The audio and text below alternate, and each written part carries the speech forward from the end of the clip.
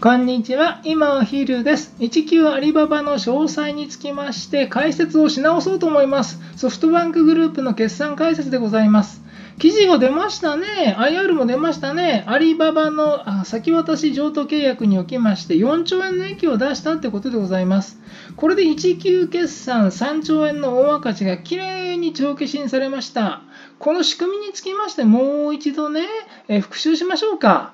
これ10日にアップした動画をフォローしなきゃいけないなと思って急遽作りました。これさ、ちょっとね、孫さん意地悪だったなと思う。4兆円の益っていうのを8月8日の1級決算の発表で言うべきだったんじゃないかなと思うよ。記事が出たけどこれじゃ分かんないかなとちょっと思いますので IR をね10日に出たやつを見ながらちょっと解説しますそして仕組みと影響につきましてもう1回再確認しましょう私も自信を持って、えー今回はね、結果が出たからね、えー、こうだと断言できるようになります。え前回はね、推定だったから難しかったのよ。で本当にね、孫さんは市場を混乱させたなと思いますよ。こういうのは本当にやめといた方がいい。だって3兆円のね、赤字でドーンと暴落したじゃん、一発、ドーン。で、またさ、これでこの株価が4兆円で上がったじゃん。これは良くないと思うよ。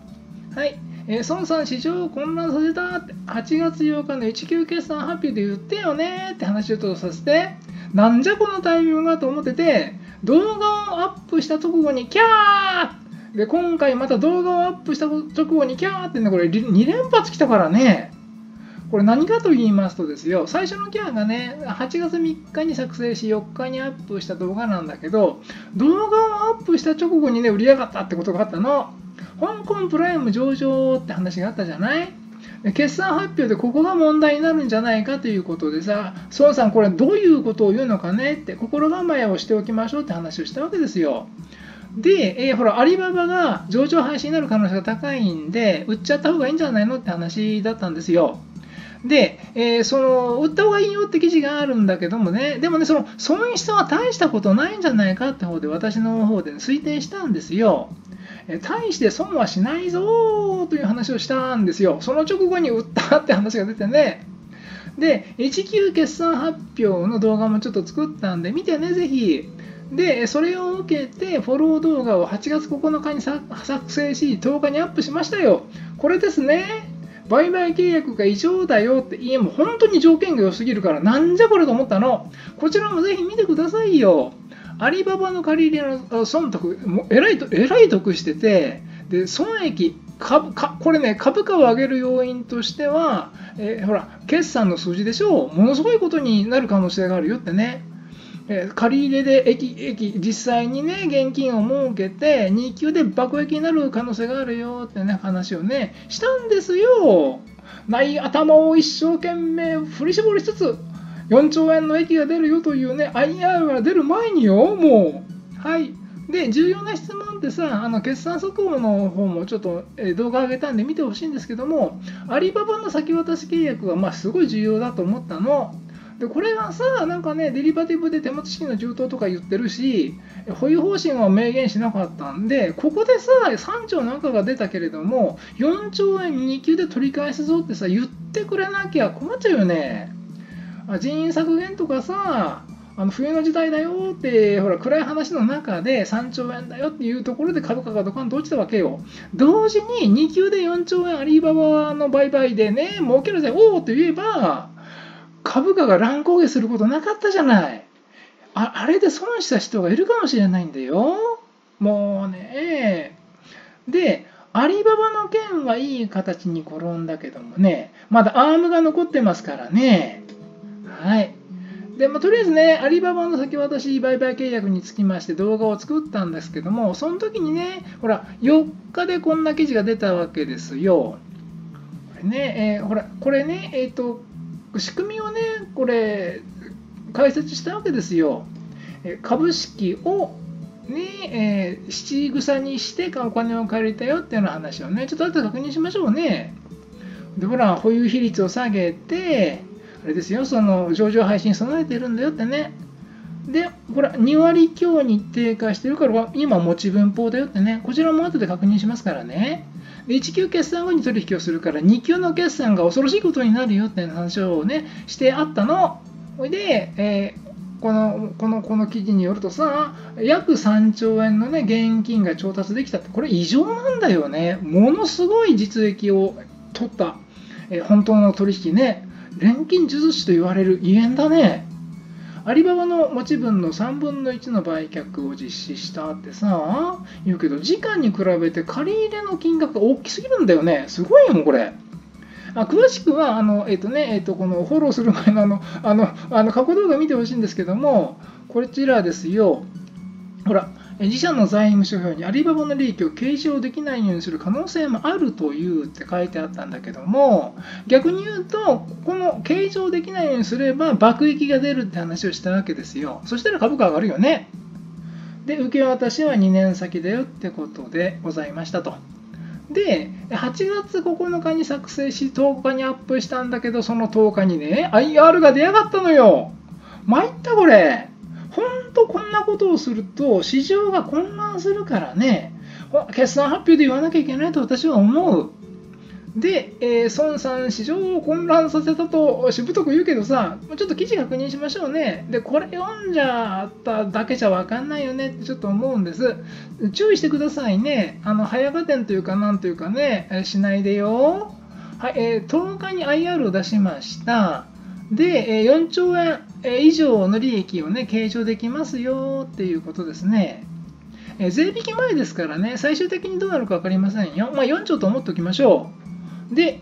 え、関連、え、利益を計上するというってところが恐ろしいのよ。2級が恐ろしいのよって話を先ほどしましたけども、その通りになっちゃったねってね。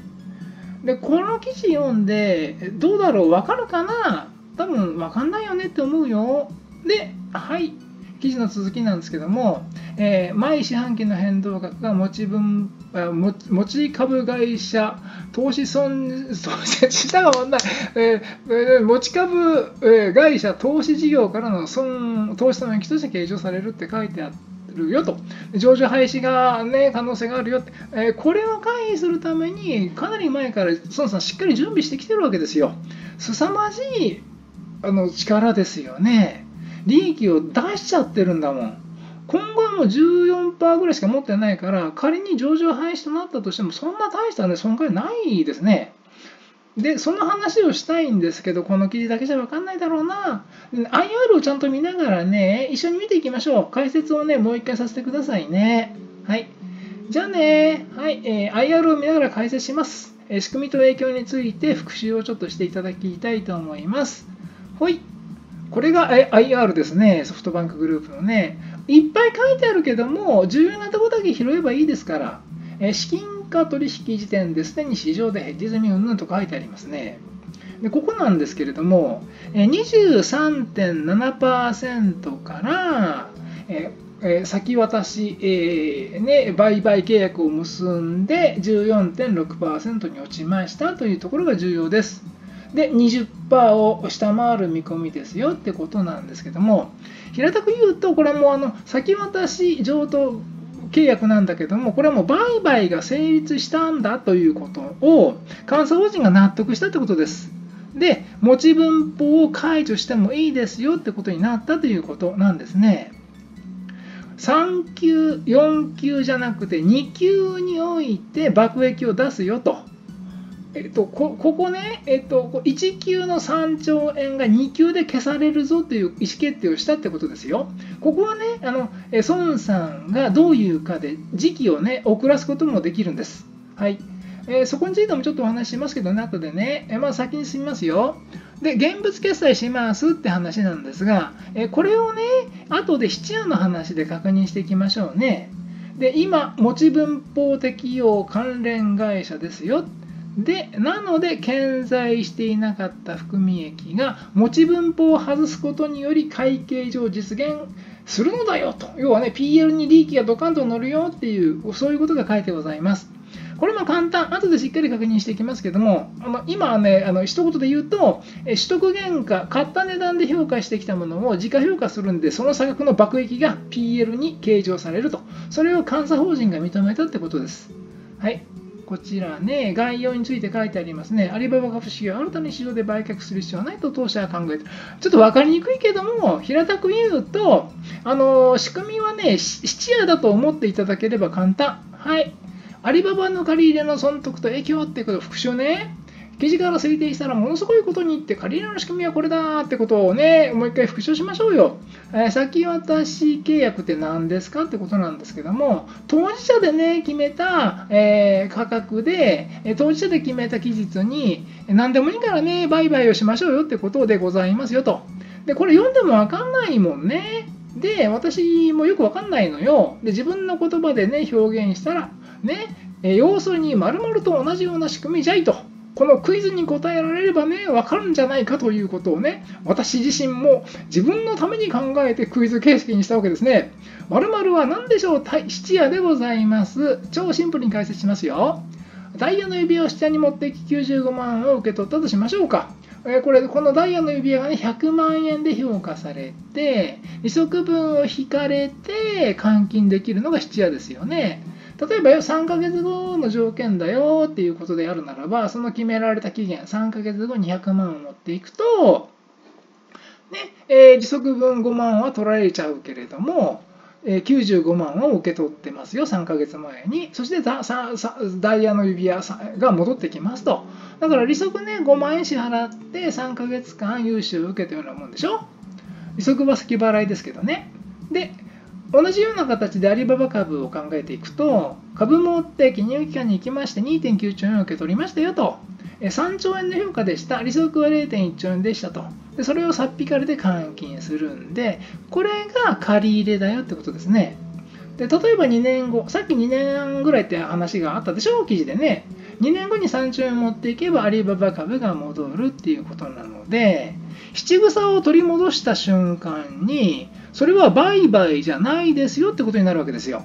だから売買にするんでしょうか、それとも単なる借り入れにするんでしょうかってことについては選べるわけですよ。で今回孫さんは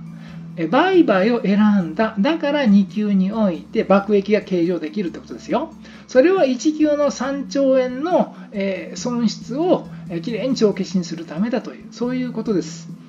金額はイメージですかね、これね。実際は複雑機械の契約なんですけども、あの怖くないですよ、この根本的な仕組みさえ知ってればね。はい。で、えー、IR の続きを読んでいきましょうか。はい、こちら4.6兆円の税引き前利益がね、試算されましたと。ある程度これ、あのずれてきますけれども、まあ、ざっくり4兆円ぐらいだと思っときゃ間違いないですよ。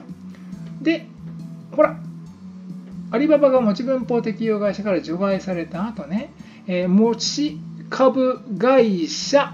投資事業からの、えー、損益として計上されるってことになってんだけど、詳細は分かりません。でもね、会計の本質を考えていけばいいです。簡単ですからね。要はね、取得原価、買った値段で評価されたものが自家評価になるんで、その差額で2級が爆益計上できるっていうことでございます。はい、えー、これもちょっと復習です。はい、えー、記事から推定したらものすごいことにって借り入れの影響はこれだって話をしたわけですね。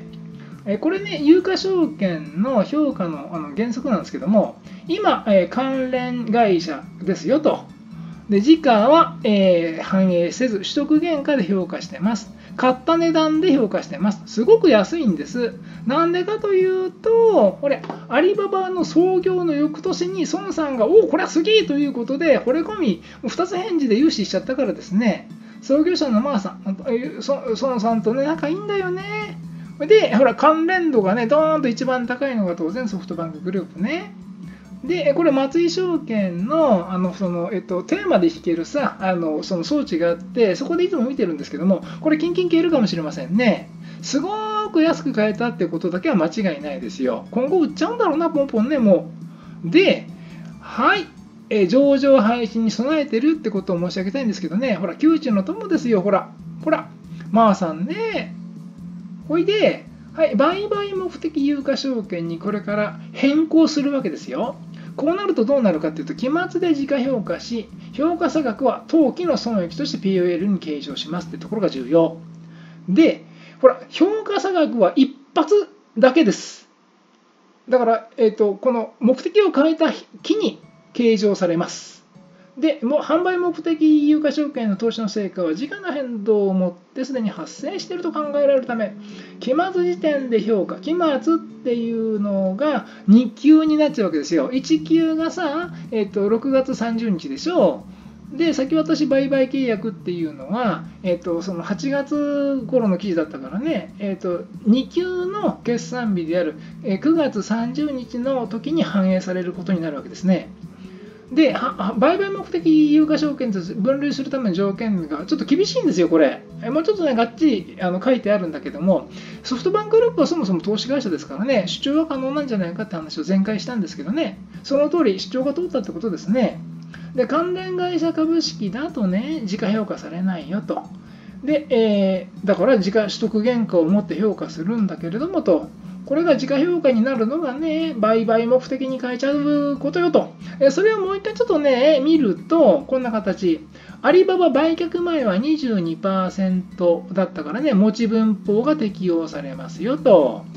それがね、え持ち分を損益にかけて財務諸表に乗っかるような形だったんだけどもこれをやめてと、はい、時価評価になるよってことなんですね、え関連会社の判定につきましてこういうルールがあります22%が3分の1売却で14.6%になるはずなわけですよで2割以上のね、状態だと持ち分法だったんだけど、ここに落ちるわけですね。15%未満になっちゃうよと。で条件がもろもろ厳しくなってきます。持ち分法を取ろうという時にね。で、アリババの利益を計上しない可能性もあるという記事があったじゃないですか。その根拠がこれですね。でと、はい。今、取得原価、すごく少額、ものすごい安い金額で評価されたアリババが、はい、売買目的有価証券ということになれば、2級決算末でね、え2級の決算でね、ドカーンと時価評価され、その差額が利益になるよと、4兆円分の利益が一発で計上されるわけですね。影響あって株価は影響を受けるでしょうよってね、時価評価だと2級で爆益の可能性があるよと。激安で買った株価が、えー、あ孫さんがね、えー、っとえ、っと、決算説明会の時に90ドルぐらいだとしたからね、この差額がそのまんま PL に乗っかるわけですよ。え、株価はナブには反映しませんねねネットアセットバリューね、孫さんの持っている株の、えー、時価から負債引いたものね、これで孫さんは見てくれって言うんだけど、ナブで評価してくれって言うんだけど、株価はね、そんなもん知らんよって感じで、なかなかね、だから孫さんはディスカウントされてるってブーブーって言ってるわけですけども、今回はこれをね、ナブが会計上で評価されて、爆益に変わるわけですよ。正式に会計でも利益として認めることになるので、なので、2級でね、4兆円になる、ものすごい利益が出るということですね。1級の赤字が3兆でキャーキャーって株価落ちたんだけども、アリババ2級爆益4兆、軽く相殺できちゃうわけですよね。もう一回言うけどさ、これで株価が爆下がり、そしてこれでまた株価が上がったわけでしょう。混乱させてくれるなと思うよ。で、エアーム上場がね、まだ残ってますよ。2つの話をしなきゃいけないぞと思ってて、アリババの話はうまくいきましてよかったよかった。アームの上場にアーンっていうのがまだ残ってます。株価への影響はこっちの方が大きいでしょうよね。さてさてどうよと。で、これから考えていかなきゃいけないことは、アリババ2級で爆撃は想定通りでよっしゃーって思いましたよ。で、えアーム上場に暗雲が立ち込めてるんじゃないかと私思ってます。で、これが想定通りだとまずいよねって思ってるんですよ。私ね、あの、孫さん大好きなんで、いつも孫さんを応援してます。だからね、株価が下がれ下がれなんて思ってませんからね。下がったら買うけどね。でも、いずれは上がるからね。で、これね、中国が問題で阻止する可能性があるんじゃないかなってちょっとね、あの懸念してるわけですよ。懸念で終わればいいなで、その理由は何でしょうかね？どういう手段を持って阻止するのかなってね、その結果はどうなるのかって思ったら、キャーなんですね。あ、この件につきましては、今ね、動画 A 作成中です。あ、聞いてくださってありがとうございました。えー、それではこの辺で失礼いたします。ごきげんよう。